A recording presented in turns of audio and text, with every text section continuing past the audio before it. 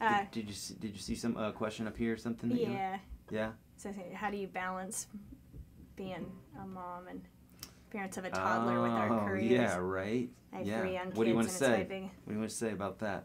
Um, I feel like It's a big. It's a big deal. It's like a the real Yeah. deal. yeah, I feel like It's a it's good always. I feel like when I'm being a great songwriter, I'm being a mediocre parent, and when I'm being a great parent, I'm being a mediocre songwriter, and so I just always am trying to balance doing the best by both. I mean, obviously my son first, but um, but I love writing too. So Yeah.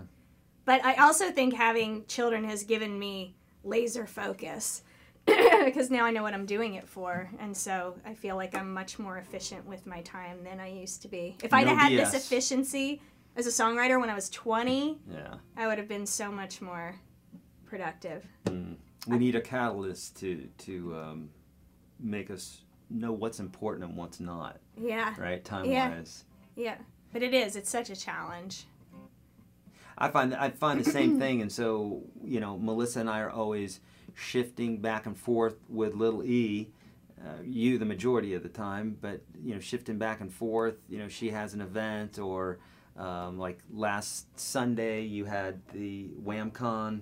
Yeah. Uh, she had an event where she was speaking at that was young women in the music business industry. And uh, and so I was watching the little guy, and then other times when I'm doing the broadcast, she's watching them, or we have a babysitter. Yeah. And It uh, takes a village. it and takes a a good team village, yeah. member. I mean, just having somebody that's as passionate as you are about what they do and about being a parent really Yeah. helps. Uh, can you tell us? Can you